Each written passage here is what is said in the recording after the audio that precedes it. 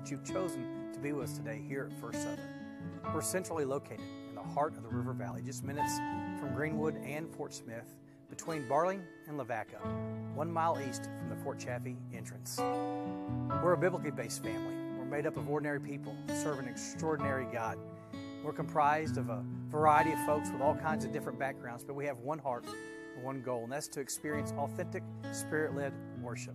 So our focus is exactly what Jesus said in Matthew chapter 22 is to love God and to love people. Our worship times begin every Sunday morning at 9:30, followed by our life groups for all ages where we look at the truths of God's word in our lives. If you'd like more information, you can look us up on the web at firstsbc.com or on social media at firstsbc. You might be new to the area, might be looking for a, a place for your family, purpose, whatever it may be. We would love to experience our time with you here at First Southern.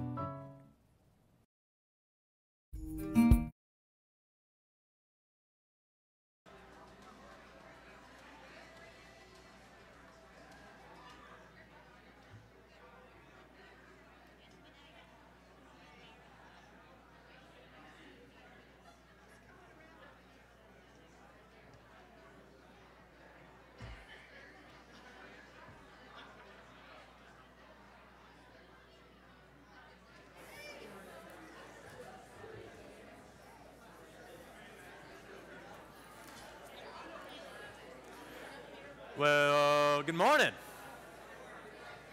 Oh, I was a little on. Oh, thank you. I like that. Let me try that again. Good morning. Wow, I feel honored. That's the. That's really good. Uh, just a couple announcements for you guys wait, today. Wait, I'm sorry. This today is not about you, so you need to. But there's flowers leave. up there. No, Uh, that's not it- for you. What is it? A special day today? For me and Oh. all the other mothers in the room, yes, it sure is. Oh, no. Then please give it up for my wife, Haley Lowry. Happy Mother's Day to all you mothers out there. Thank you so much for joining us this morning. Um, next door in the fellowship hall, we have a photo backdrop set up if you would like to go over there after the service or after a life group later and have your picture taken with your mother or grandmother or that special um, mom in your life. Feel free to do that. Um, our first announcement this morning ministry surveys. Um, these are on the table in the foyer right out there. I know last week was the ministry fair and it went really well. Um, these are just available for you to pick up. They want you to take them home, pray over them. Just ask the Lord where He would have you serve um, in our church. There's always a need for us to serve, and we know that it's also a biblical command for us to serve in our church. Um, I know for me personally, it just brings me so much joy to be able to serve in my church with my brothers and sisters in Christ. Um, so make sure you look at those and get those ready to turn in. We're also having our ministry appreciation night. If you are already serving in any capacity within the church, they are having a dinner for you Sunday evening, May 19th, which is next Sunday at 6 p.m. You do need to RSVP your attendance. Um, there will also be childcare, so you'll need to let Cheryl know. All that information's in your bulletin. Um, also, don't forget Falls Creek is coming up. There is a mandatory parent and camper meeting on Wednesday, May 29th. So put that on your calendar. That's also in your bulletin. And last but not least, we're having a barbecue picnic at Barling Park on Sunday, May 26th. So lots of fun and fellowship for the whole church. That's going to be a fun day, Memorial Day weekend. So there's your announcements for the morning.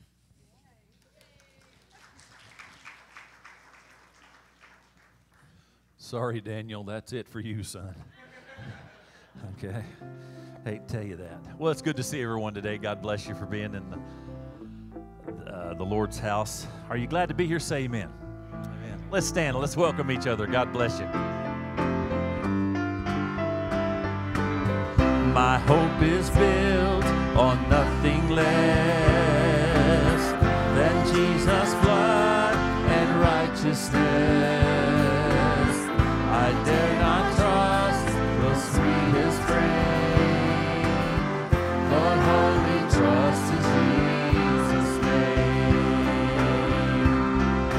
my hope. My hope is built on nothingness and Jesus' blood and righteousness. I dare not trust the sweetest frame, but wholly trust in Jesus' name. Christ alone, cornerstone Savior's love through the storm. He is Lord, Lord of all.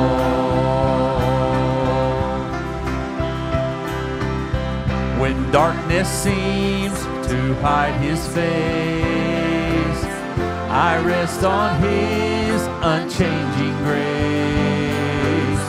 In every high stormy gale, my anchor holds within the veil. My anchor holds within the veil. Christ alone,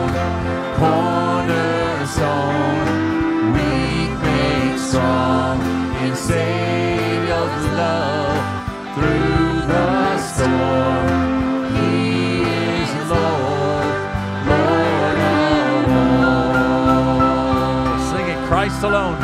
Christ alone, cornerstone, weak made strong in Savior's love through the storm. He is Lord, Lord all. Let's sing. When he shall come, when he shall come with trumpet sound, oh may I then in him be found, dressed in his righteousness alone, faultless to stand before the throne.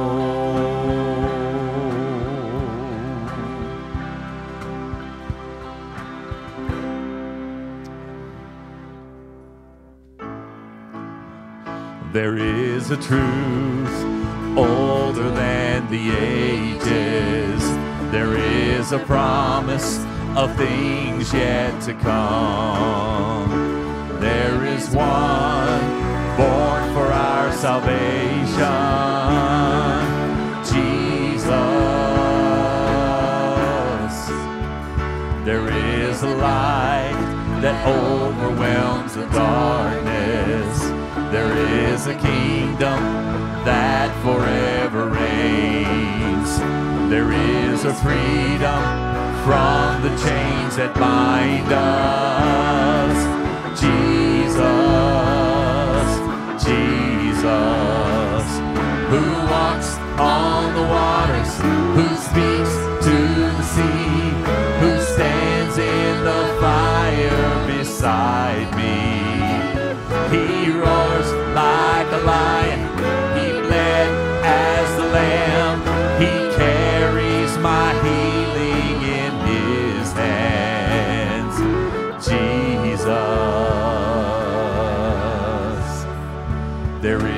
Name I call in times of trouble. There is a song that comforts in the night. There is a voice that calms the storm that rages. Jesus, my Jesus, who walks on the waters, who speaks beside me. He roars like a lion, he bled as a lamb, he carries my healing in his hands. It's Jesus. Say these great names. Come on, sing it.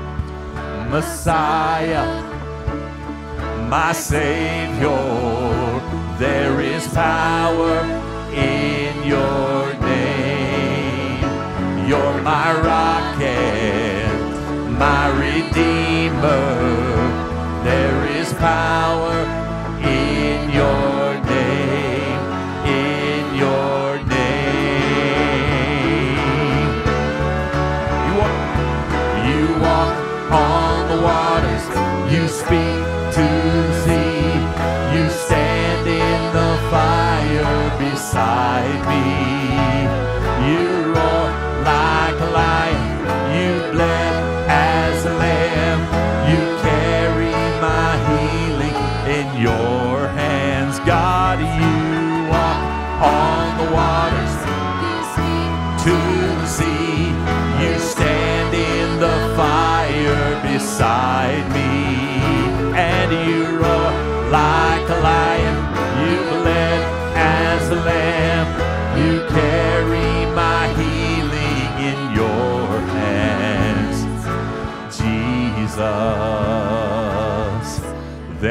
No one like you, Jesus. There is no one like you.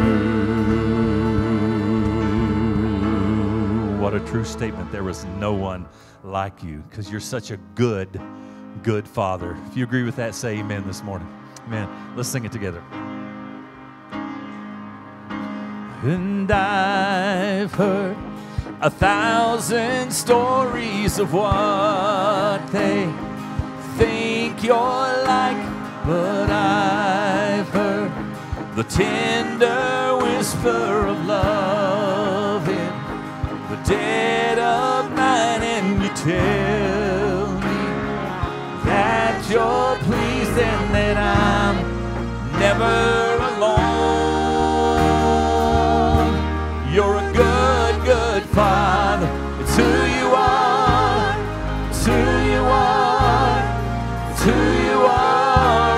I'm loved by you. It's who I am. It's who I am. It's who I am.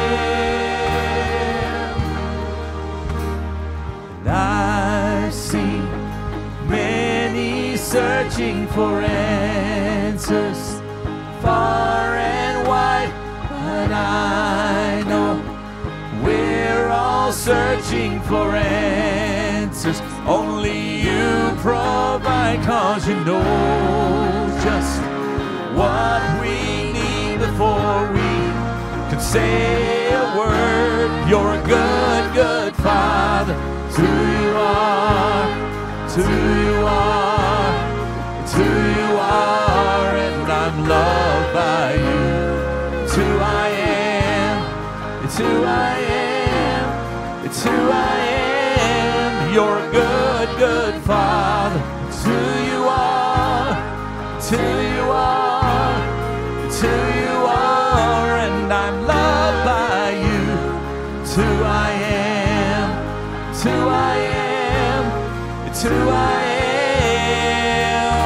You're perfect in all of your ways. You are perfect in all of your ways. You're perfect in all of your ways to us. Amen. Let's sing it again. Come on. You're perfect in all of your ways. You are perfect in all of your ways. In all of your ways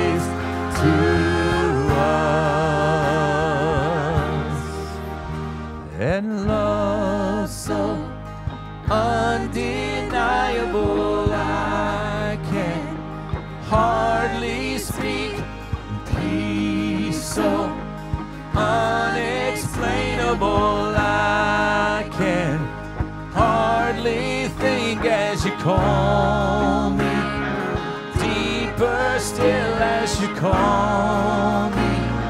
Deeper still as you call me. Deeper still into love. Love,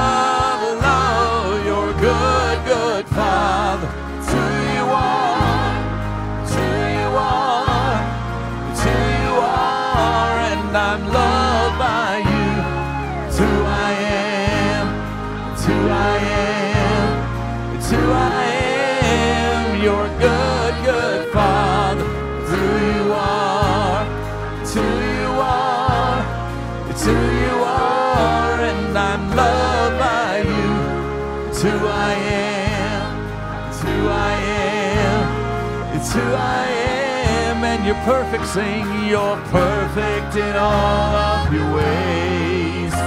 You are perfect in all of your ways. You are perfect in all of your ways to us. You're perfect in all of your ways. You are perfect in all of your ways. Perfect in all of your ways to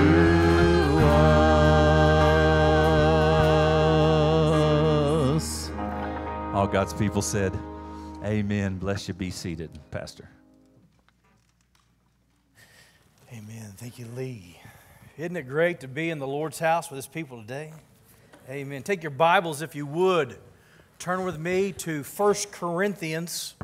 We are going to continue uh, where we have been, but let me give you a little word, moms. Uh, I almost bought bags of M&Ms for you. Today It's called Ministry of Mom Day, all right, here at First Southern, because the passage is so pertinent uh, for that, to be honest with you. I have to say, uh, every, for, I don't know, I think 10, 12, more than that. Uh, when I got here, they were still doing a, a Mother's Day uh, a breakfast. And so I have to say, uh, Miss, Miss Mindy, thank you so much for being here today. Stan, your family, for you guys being here uh, with us today to be our special guest speaker to challenge our, our ladies over there in such a, a beautiful way. Thank you so much.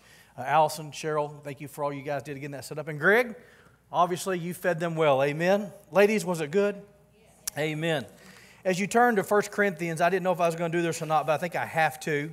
And uh, these are nine words that women use. Men, pay close attention. Young men, pay close attention. Sons, daughters. The first word that women use is the word fine. This word's women use to end an argument when they are right and you need to shut up. Number two. Amen. Didn't take long, did it? Five minutes. If she's getting dressed, that means half an hour. Five minutes means five minutes for you, which means 25 more for her. Number three, nothing. This is the calm before the storm. this means it's something you should be on your toes. Arguments begin with nothing and usually end in fine. Number four, go ahead. I have a feeling you use this, Allison. This means I dare you. Don't do it, men. Number five, a loud sigh. And that's actually a word, not the nonverbal statement often misunderstood by men. A loud sigh means she thinks that you're an idiot and wonders why she's wasting her time standing there talking to you. Number six, that's okay. This is one of the most dangerous statements a woman can make to a man. That's okay means she wants you to think long and hard before deciding how and when you will pay for your mistake. Number seven, thanks. A woman says thank you, do not question, just say you're welcome and walk away. Number eight, whatever. This is a woman's way of saying don't even try it. Number nine, don't worry about it, I got it. Men, this is another dangerous statement meaning that something that a woman has told a man to do several times, now she's doing it herself. This will result in men asking, What's wrong? And for that answer, go back to number three nothing. Here we go. That's a true story right there, y'all. 1 Corinthians chapter 3 today. Uh, one of the things that I love about where we have been through these last couple of weeks, we have what we call a ministry emphasis here at First Southern. We do this every year, very specifically, intentionally, and there's reason why. In chapter 3, Paul uh, begins to really encourage, to motivate what he's trying to get a point here to the church at Corinth. One of the things, if you look, if you were to go through the New Testament, we have done this in our life group time, literally going through the books of the New Testament. One of the things we see is a, is a common theme, so to speak. We see Paul has a great emphasis on encouraging and in bringing up those who are in the body of Christ. One of his, his big motivators is our Lord's second coming, his return for his people. Not just his return, but the intention of why he's coming and what will take place when that happens. Matter of fact, in Philippians chapter 3, it says this Brothers, I do not consider that I have made it on my own, but one thing I do, I forget about what lies behind, and I strain forward to what lies ahead. I press towards the goal with the prize upward, uh, upward call of God in Christ Jesus. And so when Paul makes a statement like that, which we see throughout the New Testament, he does so with a word of encouragement, not to bring anything to himself or to take away from anybody else. It's kind of like today. It's kind of like today.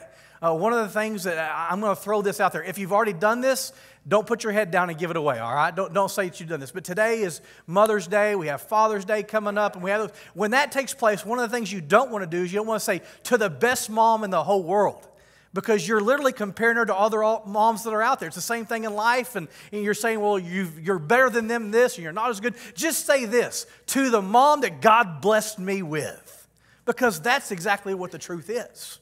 You don't want to compare your mom to anybody else because you don't want your mom being compared to anybody else, all right? You, you don't want that to take place. That's who God uniquely gave you. And so it's the same thing he's saying here in this passage. He's not comparing the believers to anybody else. He's not setting himself up too high or too low in any way. He's saying he's not bearing anybody, not trying to show money up. He says, here, here's where the Lord needs to be glorified. And one of the things we see about Paul is he's not kind of a, a halfway kind of guy, is he? Uh, the men in this room would say this without question. We would say that Paul was a man's man. Paul was, a, if you want you some, you can come get you some kind of guy. Paul says, if we're going to run the race, then I'm going to run to win that race. Paul says, if we're going to fight, then I'm going to do so to win the wreath of that fight. And he wasn't competing against other believers, but he was competing against himself, which sets the background for our passage today in 1 Corinthians chapter 3. One of the things that we do here is we stand in honor of reading the word. So if that's possible for you, please stand with me today as we begin in verse 10 says, According to the grace of God given me, like a skilled master builder, I laid a foundation, and someone else is building upon it. Let each one take care how he builds upon it, for no one can lay a foundation other than that which was laid, which is Jesus Christ. Now, if anyone builds on the foundation with gold, silver, precious stones, wood, hay, or straw, each one's work will become manifest, for the day will disclose it, because it will be revealed by fire, and that fire will test what sort of work each one has done. The work that anyone has built on the foundation survives, he will receive a reward. If anyone's work is burned up, he will also suffer loss, though he himself will be saved, but only through the fire. Let's pray together today. Father, today we thank you, we praise you, and we love you. And Lord, we can only say that and know that and experience that truth because you first loved us through your Son. Father, we pray today that your kingdom would come and that your will would be done Lord, on earth as it is in heaven, within our hearts, our lives, within your body today. May your name be lifted high and may your words speak to us clearly today. We ask it in Jesus' name. Amen. Be seated today. Today, I think this passage is so pertinent as we continue our focus in ministry, but what a great truth for us as moms, as dads in, in, in life as well. We talk about the importance of the principles we see in this passage. And I think we could all agree with that without question. And so I think when we look at this passage, we need to understand what's taking place, what's said here before we kind of look at the truths which are given. Uh, he, he's saying something very specific. He's saying, For those who have been bought by the blood of Jesus Christ, you have been cleansed forever and evermore. You've been cleansed and washed from your sins from all the past, from all the present, and from all the future. And there's great truth in that today. Uh, one of the truths that you need to understand, that we need to understand as God's children, is what it says in Romans chapter 8, verse 1. It says, Therefore, there is no what? There is no condemnation for those who are in Christ Jesus. If you don't know that passage, you need to learn it, mark it, highlight it, know it from the Word. Oftentimes, when we get in periods of times within our life, especially within church, we talk about ministry. Oftentimes, as moms, as dads in life, we often have this kind of mindset well, I'm, I'm not good enough. I'm not smart enough. God can't use me because of what's taken place within my heart or my life, what's happened in the past. Let me tell you what God says. If you are today, if you sit here and you are a redeemed child of God, you have asked Jesus, and matter of fact, we got, we got a new one in the family, all right? I got to meet with a precious family this morning and their precious son. He's a brand new, he's a brand new child of God as of, of yesterday. So you come to that point in time in your life when, when the Lord speaks to your heart, when the Spirit of God convicts you about sin and life, and you say, I need someone to wash me, to cleanse me, to be my Lord, to be my Savior, to be my Master, to do what I cannot do and what nobody else can do. And you get to that point that turn in your life and you say, Jesus, You do that in this life. May you be glorified. You are a born again child of God. And let me tell you how the Bible describes you today. The, the, the, the, Word of God describes you as a new creation. The old has passed away. You have become heirs to the throne of God and Christ Jesus. And He that began a good work in you, He will complete that. He empowers us by His Holy Spirit. He says we're alive, we've been set free, so we are to live that kind of life. That's what He refers to in this passage. So we were created. We were meant for ministry within our hearts and our lives. Oftentimes, that's what people think.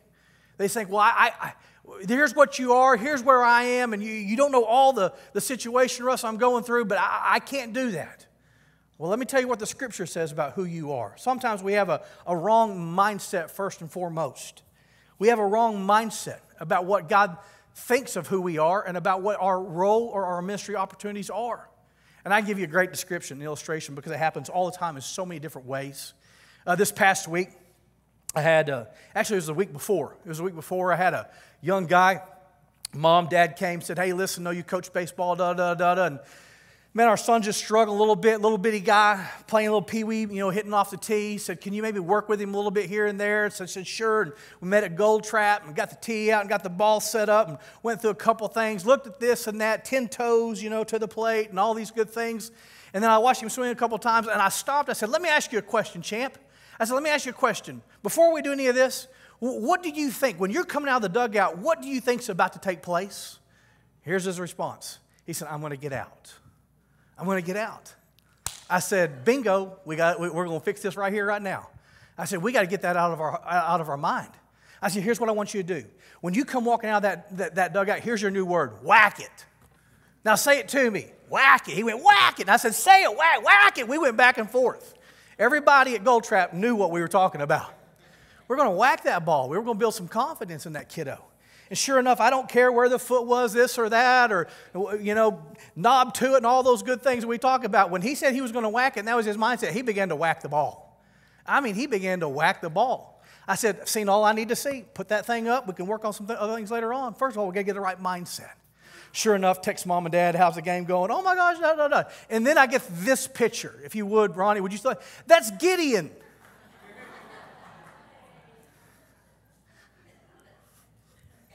First home run, right there. I said, my man, Gideon, mindset. I think Lee told me, he said, man, he's killing the ball. I said, yeah, it'll be $500, Coach Tyler. I'll be his manager in the days to come. I'm kidding. Mindset. I said, you got to think when you come out of that dugout, I'm going to run, run hard. Nobody's getting me out. Listen, as children of God, as children of God, sometimes we have that same mindset. That the world's out for us, and they are. And the enemy begins to throw things within your head and your heart and your mind. The good news for children of God is this there will be no charges brought against you. I don't know if you heard what I just said. As a child of God, when you stand before his throne, there will be no charges brought against you. You have been washed by the blood of Jesus Christ forevermore. If that's the truth, which it is, then we need to walk in that truth. Walk as children of God of the Most High. And in this passage, he says he's simply referring to this day when we stand before the Lord as believers and we give an account.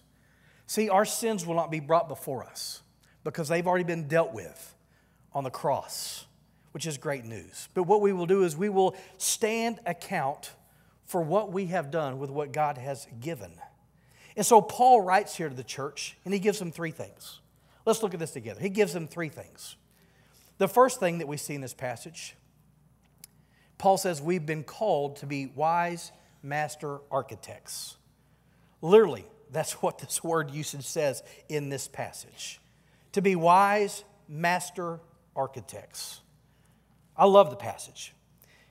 Note, note the first word in, in this, in this uh, statement for us today to be wise. And, and I love what the scripture says. In context, this word usage, wise, means It's not just referring to the, the, the, biblical wisdom which we refer to. We, we know what God's word has to say, the heart of God's word, the intent, what it means for us, that application. That's the biblical wisdom we know. But it's also the practical aspect of wisdom, meaning this whatever we do, we do skillfully and we do well. That's what he's referring to in this passage. To do skillfully, to do it well. He says, don't just fly by the seat of your pants, but know the truth of God's word Know the timing of God's word in your life. Walk in his empowering presence, and you'll see that difference. Let me ask you a question How important is that for us in life? It's huge. We all know that it's huge. How important is this for us in ministry in life? That's, that's just as important as well. You know, I, I asked uh, Haley to do the, the announcements. Actually, Haley took over the announcements today, and you are done. That was funny. Anyways, ministry surveys. We hand those out. We have those out in the foyer, and you might be a guest. I, I encourage you as a guest to pick one up. if you have a church home, take it back with you and see uh, what ministry, what area the Lord has laid upon your heart. But the first thing we ask you to do, and she said it so beautifully, don't just pick it up and just fill it out. The first thing you need to do is pray. You need to pick that thing up and look at the ministry opportunity, ministry opportunities and areas, and you need to say, "The Lord, Lord, may your kingdom come, your will be done within my heart and life and your church. We don't assume anything when we, when we pick those up. Well, I'm just going to check off where I've been before. No, I want you to pray. Pray for God's wisdom and His timing. And when you have God's wisdom and timing and His will is in your heart, let me tell you what you're going to have. You're going to have a peace which surpasses all understanding. That's so true. I had a, a, another great meeting this past week, and we have a church member here at First Southern. So encouraged about all the things that are taking place had a great time talking about what's going to be coming in the days to come. And this is part of the email I, I received back that we received. It says, I came home today filled with more confidence and excitement of the purpose and the spirit that I've been assured of in a long, long time. And I said, wow, just blessed my heart immensely. So excited about what's taking place within his heart and life, within the church. Why? Because we understand we are to be wise master architects and to build on what Christ has already given us. Sometimes people ask the question, they say, Well, what ministries do you offer at First Southern to be a part of? Uh, we, we have ministries that the Lord lays upon my heart, we have ministries that the Lord lays upon your heart. And that's important to understand. In this passage, if you were to look at this in this passage, when he talks about being a wise master builder, you would say, now, wait a minute, if I'm thinking, if I'm reading that right, if I'm studying that right, he might be referring to you, uh, Russ, or those in the ministry, those who are pastors or leadership within that.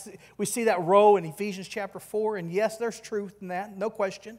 That's who I am to be, we are to be. But also, it's for each one of us. That's why it says, let each one, let every believer, let everyone who is a part of the body, each and every single one of us. I, I love it. Our, our kids have ministry gifts to be used to serve the Lord. Our students do. Our college, our single, every, every person a part of the body of Christ has a gift to be used to build the body of Christ. Every single one. And I've got news for you. We might have a different giftedness, we might have a different calling, but we all have the same responsibility according to the truth of God's Word. Amen? Okay, everybody said amen. You got to get a form. All right. He says we are to be wise master architects. The second truth he gives us in this passage is this that we've been given a great foundation. Amen. We've been given a great foundation. We've been given the greatest foundation, the Lord Jesus Christ. Last night I had a, great teaching time, so to speak, with my family. We uh, attended a, uh, a wedding, and the wedding was set in a different, um, literally just a different denomination, so to speak. Had a different approach with how that wedding takes place, different beliefs, and what have you. Uh, which is great because I was asked in the, in the car on the way home, what do I think about this what do I think about that? And I said, doesn't matter what I think. Doesn't matter what anybody thinks. The question is, is what does the Word of God say? That's what matters. We have too many opinions in our society today. Our opinions mean absolutely nothing compared to the truth of God's Word. Nothing. And so we got into this conversation well, where did this take place, or where did this take place, where did this come from? Why do we do this? Why, do they, why these things take place? Which is absolutely wonderful. And I said, Well, I'm just going to tell you right now everything that we want to do, that we, are, as, a, as an individual and as a church or whoever it may be, is we want everything to stand on the Word and the Word of God alone. And I want to make that very clear today. We let the Word of God stand alone. We don't put anyone or anything parallel or equal to the Word of God because nothing can stand parallel or equal to the Word of God. Can't be done. So they say, well, if that happens, and da, da, da, begin to ask the questions, and sometimes if you don't think kids are listening, they, they are. It's because Clifton, this is what I heard from my son. Well, Clifton and Ron always say, or this or that, or whatever it was. And I said, well, praise God. It's a good word. You're getting there, bro. You're just still new, all right? That was brought up, all right? And so I said, praise God, because that's exactly what we're talking about in DU classes, and, and so it's so important. Matter, matter of fact, take your Bible. Turn to the left with me right quick. Let's turn to the book of John.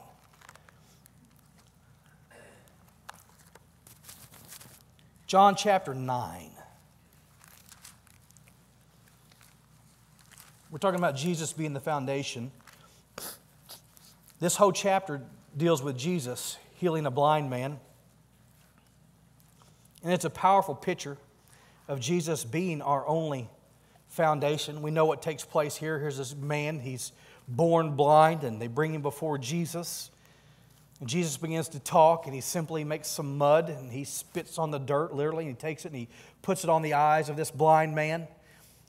And then when he's done, he tells this man to go wash in the pool of Siloam, which is, has a great meaning context as well. When the man comes back, we see that he can see and begins to give testimony. Of course, these men, these Pharisees, are furious that this takes place on the Sabbath with a blind man, because if you were born blind, that means there was sin in your life. How tragic is that? the mindset of these folks. He had done something wrong. Look at us. We're good. Our parents were good. Our grandparents were good. Oh, what a, what a scary mindset. He was born blind so that God could use him for this divine purpose, for this right here, and that the whole world would forever know what God can, only God can do. So they bring him before him and say, How does this take place? And he begins to tell them, Well, I don't know. I don't even know the guy. So they call him back again. Look what it says in verse 24. For the second time, they called the man who had been blind and they said to him, Give God, I'm sorry, give glory to God. We know that this man is a sinner. Aren't, you, aren't you glad they called you back a second time? Bless you, men. He answers, says, Whether he's a sinner, I do not know. One thing I do know, that I was blind, and now I see. They said to him, What did he do to you? How did he open your eyes? He answered them said, I've already told you you would not listen. There, there's the problem with most of the people in the world today when it comes to the truth. They don't want to hear the truth, they don't want to listen. When do you want to hear it again? Do you also want to become one of his disciples? It's pretty incredible how this man who was considered an outcast has so much wisdom that God would use so incredibly. They rivaled against him, saying, You are his disciple, but we are disciples of Moses not of Jesus. And there's your problem. See, if you have the wrong foundation, you're going to have a lot of problems in life. Their foundation was upon a man. All they had to do is a little research about that man, Moses, and know that his foundation was none other than God and God Himself. matter of fact, Moses just did nothing but point to Jesus, y'all. That's all he did. We know that God has spoken to Moses, but for this man, we do not know where he comes from. The man answered, Why is this amazing thing? You do not know where he comes from, and yet he opened my eyes. You know what he just said to him? There's only one who can do that, and that's God himself. And that's who he was God in flesh. If anyone is a worshiper of God and does his will, God listens to him. Never since the world began has it been heard that anyone opened the eyes of a man born blind. If this man were not from God, he could do nothing. They answered him, You were born in utter sin. You would teach us, and they cast him out.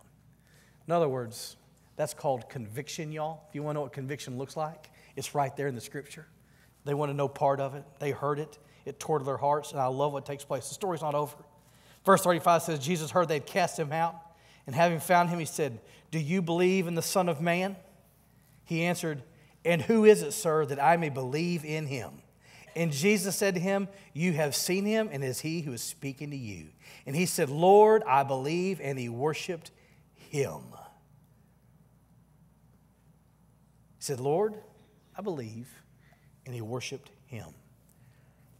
Let me tell you something, church. The only foundation that I need, that you need, and the world needs has been laid by Jesus Christ Himself. That's it. It's all you need. It's not Jesus plus anything. It leads us to the, the third truth we see from the scripture back in 1 Corinthians chapter 3. Look what it says in verse 12. Now, if anyone builds, what a great truth, not just for ministry, but for moms, for life, for families. If anyone builds, third truth, build wisely. Be a master, wise master architect. You've already been given, number two, a foundation, so build wisely. Because our foundation is secure in the Lord Jesus Christ, continue to build upon Him because what we build will be tested by fire. That's what the scripture says. And he goes through this list, and sometimes people get to this and they go, wow, this is, this is pretty intense. What does it mean? I think I have an idea. Well, he makes it very clear for us. He lists out these things which we see there's gold, silver, and precious stones. That's one list of those things. You know what fire does to all those things? It tests them, it only proves them to make them what? Better. And then fire, look at the next list wood, hay, and straw. You know what fire does to wood, hay, and straw? It gone. How many of you here would say, hey, uh, I'm going to make an all wood straw house? That'd be a wise idea. Now, there are places where there's no question they have to do stuff like that, but for you, I'd, I would say to build it is as structurally strong as you possibly can. And so he lists out these two lists. And please understand today, these lists are not given as a, a, a, about our talents. You say, well, the reason I don't do this, or the reason I don't do that, or the reason I don't serve here, because I don't have this gift or that gift that that person was given. It's not about our talents, it's not about our gifts, about any of those things. It's literally referring to what the Lord has given us specifically and doing our best with what He's given. And that's it, and that's it alone. Remember, uh, we, we talked about this last week. That's why I said what I said at the beginning of this service. You don't compare yourself to anybody else because you are uniquely made, that God has you and you alone to be used for very specific purpose and intentionality. And the problem is, is I begin to look at their life or this life or that person, this person, this ball player, that ball player. You can say, hey, I, I look at what they do and I want to emulate that, but you be the best you. You be the only you that you can possibly be. That's important for us to understand. But whatever it is, let me tell you this always give your best. Give your best to our Lord. That's what Paul's saying in this passage. That's how he, he begins it, and that's what he's referring to in this part. Whatever you're doing, whatever you're building on, build it wisely because guess what? It'll be tested by the fire. Meaning what? Just because you're active doesn't mean you're accomplishing anything in church, folks. Just because you're active doesn't mean you're accomplishing anything. You can look busy all you want. That, that was one of my favorite things to do. We used to have work days. You know, when I talk about coaching back in the day, we had church league, and, and they would bring all the coaches out, and we had to get together and have this big work day. And I'd, I'd done that when I was 14, 15, and 16 in Springdale, ran the baseball fields. And first of all, they were doing it wrong. But anyway, secondly, there were just people everywhere, just everywhere. And they're like, this is what we need everybody to do. And I'd be like, okay, I'm going to get me a rake and I'm going to go over here and do my own thing. And I'd be going, acting busy acting the part, not accomplishing anything because of what needed to be done, well, forget it. Wasn't being done. So we, we have to look at that within our lives as well. Are we, are, just because we're active doesn't mean we're accomplishing anything. You can be doing all kinds of things. You can be part of all kinds of ministries, and you have the appearance of being useful. Excuse me, but in the reality, if we're not giving our best, we're just going through the motions. We're just going through the motions. And if we're just going through the motions in church and life, you know what we're doing? We're building on the foundation with wood, with hay, and with straw. That's what we're doing. Let me ask you a question. When we stand before the Lord one day, after you get up from kneeling on that day, which He refers to for us as believers, when those things are brought there, we say, Lord, thank you for the foundation, and I gave my very best in these areas. Each one's work will become manifest. That's what he says in the scripture. The day the Lord will disclose it because it's been revealed by fire, and that fire will test what sort of work each one has done. Meaning what? Are you doing what you're doing to be seen or that others may see him? Are you doing what you're doing to look good in the eyes of others or to look good in the eyes of him and him alone? Are you halfway kind of believer? When you run the race, you're just kind of jogging out there to get your time in to eventually get across the line. When you fight the fight, are you doing so to win the wreath or just to kind of make it to the end? Let me tell you something. We as believers have been called and created in the image of our Lord Jesus Christ. And whatever we do, we do it with all our heart, to the best intention, to the glory of God. So, whatever you do, you better build wisely. Father, I thank you for the truth of your word. I thank you for the power of your word today. Lord, this is a great word, great intentionality for us, great truth for us today. Lord, as family, Lord, for every family that's here today,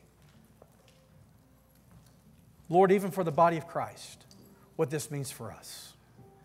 The application is twofold. So, Lord, may that be received today. I pray for moms and for dads that they think about their life and their family, that they make sure that Jesus is their strong foundation, their sure foundation, and they build wisely. Lord, I also want to pray for us as the body that what you've given us, you've given it specifically to be the best that we can be for your kingdom, for your glory, and yours alone. Today, we want to say thank you for being here. And today, if the Lord speaks to your heart, if the Lord calls to your heart, like He did in Cooper's heart yesterday, to know Him, Today is our time of response. We'll be here at the front. I'm here. Daniel be here. You just say to the person next to you, hey, today that's my life. God's called me to a relationship today. It's the greatest day of your life. You might be looking for a church home. I don't know, it just might be between you and the Lord about where you are and what He's calling you to do in the, in the area of a specific ministry, whatever it is. Let the Lord speak, and then we'll respond to Him. Father, be glorified in this time for your, for your name, for your sake alone. Amen. Let's stand. As we stand, we respond. We fall down, we lay our crowns at the feet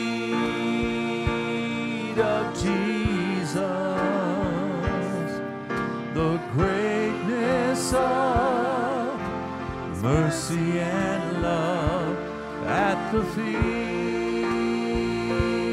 Of Jesus, and we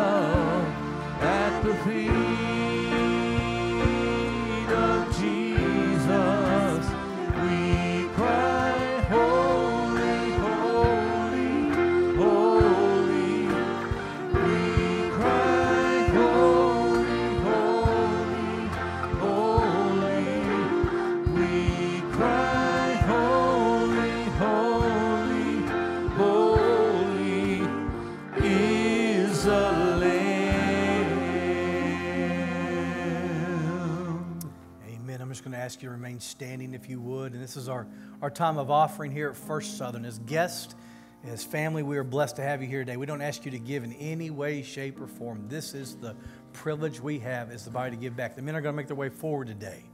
All right, and as the men make their way forward, if you have a prayer request or need, and that's on that card when the plate comes by, if you would, just put that in there. All right, Rob, I'm going to ask you if you would, if you'd pray for the offering this morning, my friend.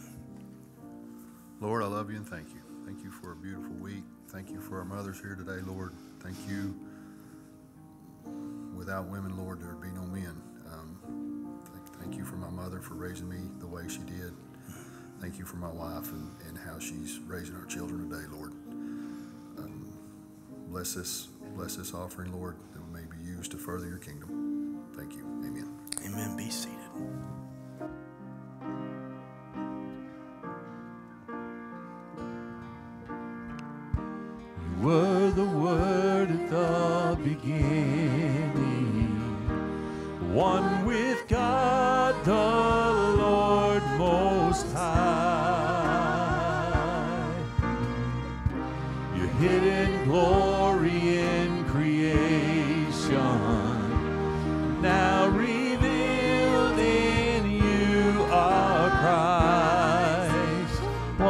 Beautiful name it is.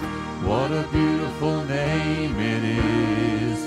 The name of Jesus Christ, my King. What a beautiful name it is. Nothing compares to this. What a beautiful name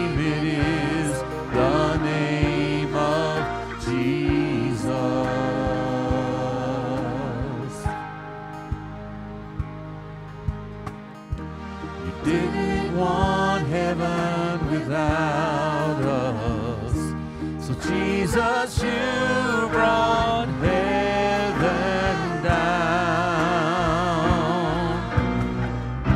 My sin was great, your love was greater. What could separate us now? What a wonderful name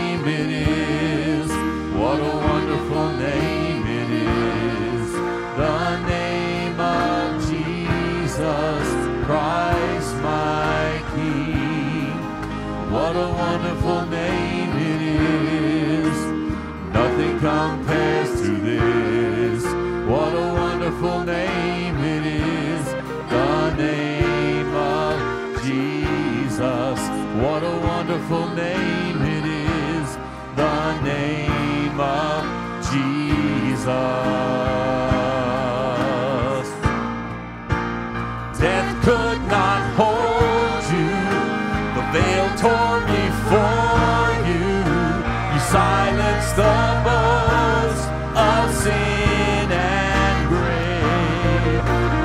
Heavens are roaring, the praise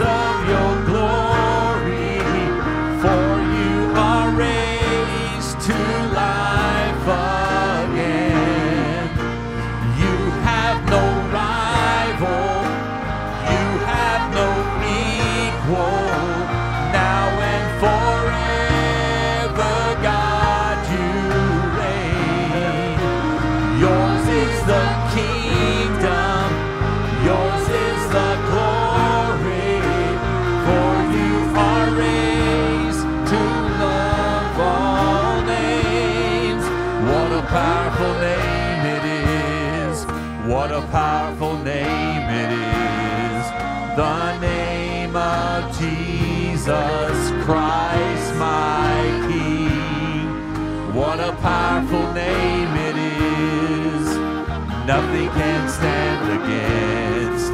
What a powerful name it is. The name of Jesus. What a powerful name it is. The name of Jesus. What a powerful name it is. The name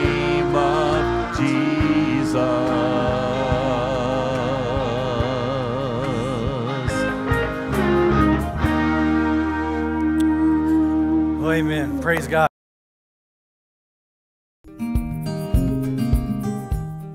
Thank you once again, and we were so blessed to have you be a part of the service here at First Southern today. If you have the opportunity and you're in the River Valley, we would love to have you be a part of our corporate worship service Sundays at 9:30 to 10:30 at 12 West Central in Central City, Arkansas. Bless you and have a wonderful week.